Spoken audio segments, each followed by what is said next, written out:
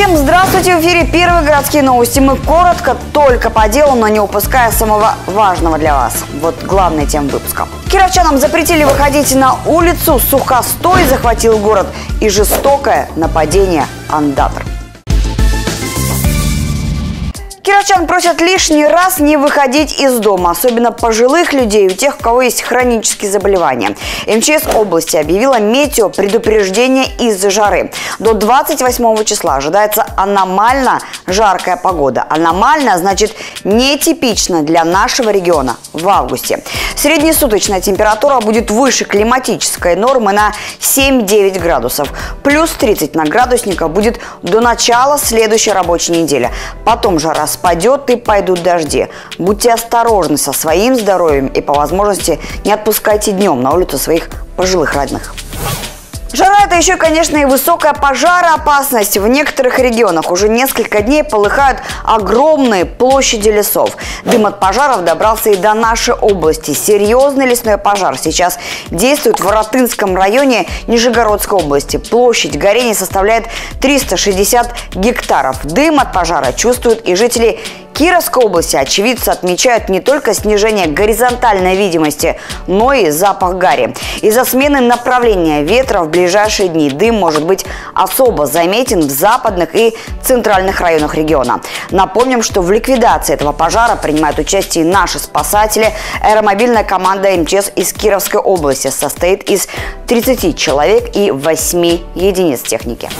Такую жару, конечно, легче переживать в зеленом городе. Можно хотя бы спрятаться в тени, ну и дышать с ними гораздо легче. Но деревьев у нас почему-то становится только меньше. В социальных сетях кировчане жалуются на большое количество сухостоя. Вот такие безжизненные стволы есть в каждом районе города, в том числе и на центральных улицах. Они украшают у нас и парки, и парковки. Люди переживают, что в непогоду деревья могут упасть. В администрации сообщают, что работа по уборке сухих деревьев ведется постоянно. Однако жители города замечают, что здоровые деревья стали уничтожать гораздо чаще. Вот, к примеру, на улице Ленина сейчас там идет капитальный ремонт дороги до улицы Современной. На первом этапе работ подрядчик спилил молодые березы, чем очень сильно тогда разозлил жителей района. Но вроде обещают восстановить озеленение.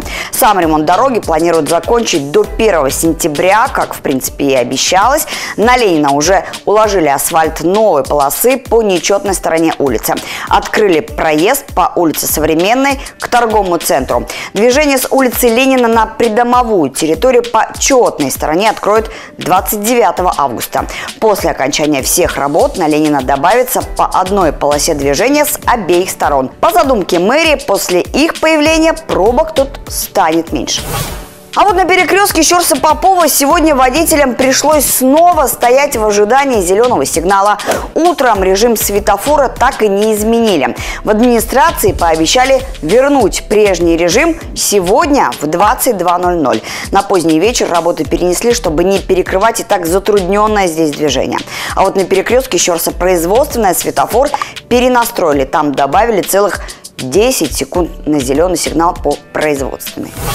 Новый сквер в откроется уже в начале сентября. В прошлом году кировчане голосовали за территории, которые нужно благоустроить. Сквер в Нововятске набрал больше пяти тысяч голосов. Строить его начали в мае этого года. Сейчас подрядчик на финальном этапе работ. Раньше в этом месте был заброшенный пустырь. Как облагородить территорию, решали сами жители Нововятска. В зоне отдыха им поставить фонтан, детскую спортивную площадку, велосипедные дорожки и даже сцену, чтобы проводить там праздники. Затем, как продвигаются работы, приехал посмотреть в Рио губернатора. Подрядчику он предложил украсить территорию. Обыграть надо как-то это самое теплотрассу. Поставьте деревяшки, сделайте из плохого хорошее, ну, чтобы тепло не закрывало. Ну, то есть, да. А с нее сделайте те самые на следующий год висящие сады с семирамидами. Местные жители контролируют ход работ, они наблюдают за строительством и ждут открытия. Затем, чтобы подрядчик успел в срок, следят и депутаты. Мы каждую пятницу в 10 утра выезжаем с департаментом городского хозяйства, непосредственно с руководителем.